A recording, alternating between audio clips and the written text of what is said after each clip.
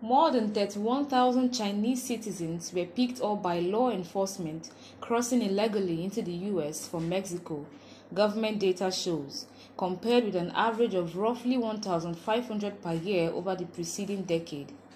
Their numbers are still dwarfed by those from regional neighbors like Mexico, Venezuela, and Guatemala, and they are not alone in coming from other parts of the world.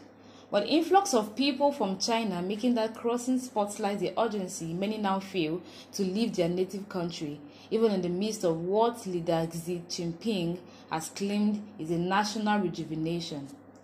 Many who left point to a struggle to survive.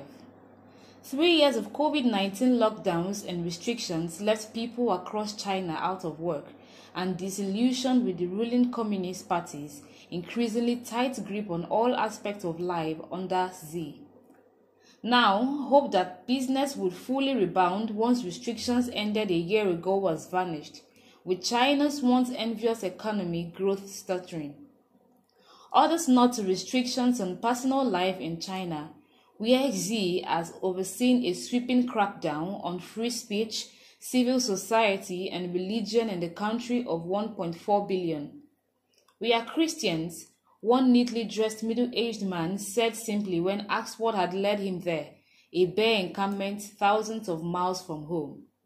These Chinese nationals join migrants from around the world, whose numbers have overwhelmed the southwestern US border with illegal crossings in recent months.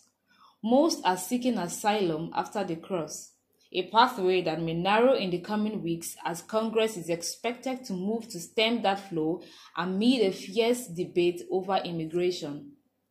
For now, people from China are on track to be the fastest growing group making those crossings, according to a CNN analysis of the latest law enforcement data on border encounters.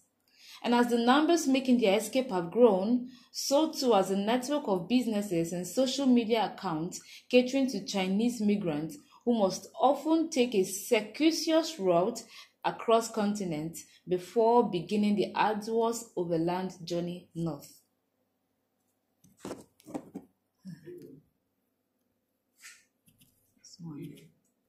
Yes.